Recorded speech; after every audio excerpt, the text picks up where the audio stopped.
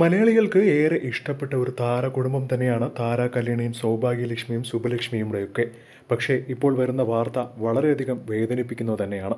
ഒരുപാട് സിനിമകളിലൂടെ മുത്തശ്ശി കഥാപാത്രമായി മലയാളികളുടെ നെഞ്ചിലിടം നേടിയ ഒരു താരമാണ് നടി ആർ സുബലക്ഷ്മി.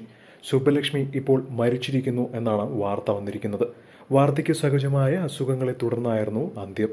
കർണാടക സംഗീതജ്ഞയും നർത്തകിയും കൂടിയാണ് സുബലക്ഷ്മി. ഒരുപാട് പേർക്ക് ഒരുപാട് ഇഷ്ടപ്പെട്ട ഒരു താരമാണ് സുബലക്ഷ്മി കല്യാണരാമനിലെ ആ ഒരു കഥാപാത്രം മാത്രം എടുത്തു നോക്കിയാൽ മതി. എത്രമാത്രം മലയാളികൾ ഇഷ്ടപ്പെടുന്നുണ്ട് ഈ താരത്തെ എന്ന്. പലർക്കും വിശ്വസിക്കാനാകുന്നില്ല എന്നാണ് പറയുന്നത്. ഇത് ഒട്ടും താങ്ങാനാകാത്ത ഒരു വിയോഗം തന്നെയായിരിക്കും താര കല്യാണിനും സൗഭാഗ്യക്കും കാരണം അത്രയധികം സ്നേഹിച്ചിരുന്നു തന്റെ മുത്തശ്ശിയെ സൗഭാഗ്യ. താര കല്യാണിയും അമ്മയെന്ന് വെച്ചാൽ ജീവനായിരുന്നു. ജോലിയിൽ നിന്നുമൊക്കെ റിട്ടയർ ചെയ്ത ശേഷം ഒരു പരസ്യ ചിത്രത്തിലൂടെയാണ് ക്യാമറയുടെ മുന്നിലേക്ക് എത്തുന്നത്.